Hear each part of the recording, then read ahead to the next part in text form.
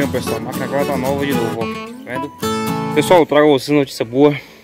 Enfim, né? Nós acabamos de encerrar, de passar palma, né? Nesse período de seca que veio de maio, né? Nós começamos a passar maio, é, palma desde maio até é, o começo de novembro, né? Então, um período muito desgastante pra gente. Tivemos aí que cortar o palmal praticamente todo aqui da fazenda. Não deu conta. Buscou palma em, outra, em outro lugar, né? Mais de 60 quilômetros aqui da propriedade para estar tá servindo os animais.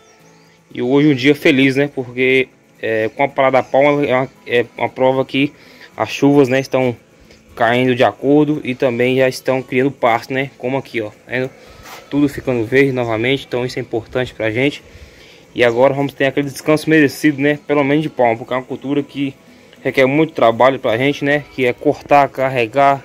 Depois nós temos né, que passar na máquina, depois passar na máquina, colocar no coxo. Então é um trabalho que por enquanto, né? Esperamos agora que demora bastante tempo para voltar de novo. Então é, encerrar a máquina, né? a máquina já foi desligada, agora para frente não vai funcionar mais. Nós vamos fazer o manejo com ela completa aqui, limpar ela todinha, né, passar a bucha, deixar ela nova de novo, porque trabalhou bastante esse ano, viu?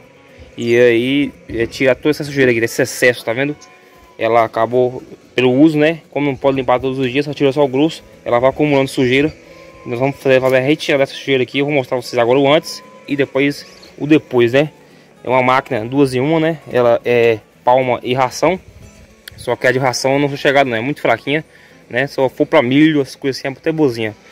E aí a, o motorzinho 2CV funciona, o rolamento funciona a mesma que corta a palma, né? Passa o capé ao mesmo tempo, ó. Eu acho que fica fraco como eu disse, né? Que ela não tem tanta potência para máquina de carro. Agora para palma é excelente. Então nós vamos lá, já isolou o motor aqui, coloquei um plástico por cima do motor, né? Para não molhar. Nós vamos aqui agora fazer essa limpeza aqui, eu vou mostrar pra vocês o passo a passo aqui.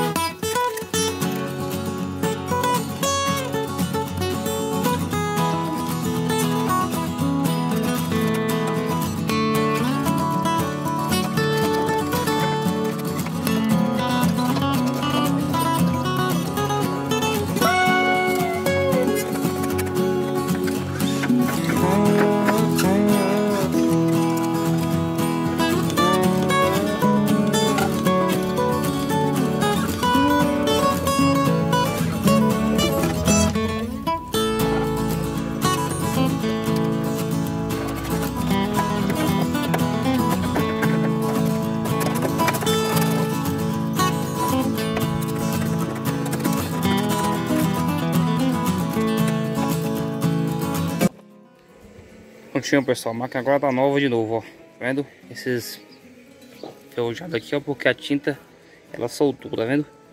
Por causa da palma, né? Com a umidade aí muito tempo.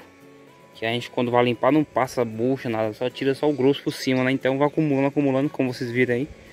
A limpeza foi árdua, né? A gente tirou o que pudemos aqui. Agora vou esperar secar, né? E envelopar ela. Colocar ela no plástico. Para que ela não pegue mais umidade, pra você ver, ó. Também ela perdeu a proteção daqui, né? Que a palma para não cair para cima. Perdeu daqui, ó. Tanto usar, né? Agora eu vou ver se eu consigo mandar ela para comprar, para no caso, para cidade, né? Para arrumar. Para fazer a manutenção, que é uma pintura, né? Colocar o que tá faltando. É, reapertar os parafusos, né? Trocar alguns parafusos que estão enferrujados. Conferir motor, né? Interessante a correia da poli também dar uma olhada. Para deixar ela zero novamente aí, se possível, né, arrancar essa tinta toda também tá pintada. Que aí fica nova de novo, né? Que máquina é assim, né? Se você usar, usar não chamando atenção, né? Com o tempo ela acaba. E essa daqui, pelo que eu observei aqui, ela já foi arrumada, né? Acho que outras vezes. E aí essa aqui é a segunda pintura. Uma pintura mais, uma pintura mais assim, mais laboar, né? Não foi uma pintura fina. Uma camada bem grossa. Aí tem que pintar de novo para não acabar o material. Então se você gostou do vídeo, né? Um alívio pra gente aqui, graças a Deus. Agora encerramos questão de palma. Não vai ter mais palma por enquanto agora. Até o ano que vem, mais ou menos aí 8, 6 meses agora sem palma. Esperamos, né? Contamos aí com muita chuva esse ano aí e o começo do ano que vem também. Então se você gostou do vídeo, deixe um like, inscreva-se no canal.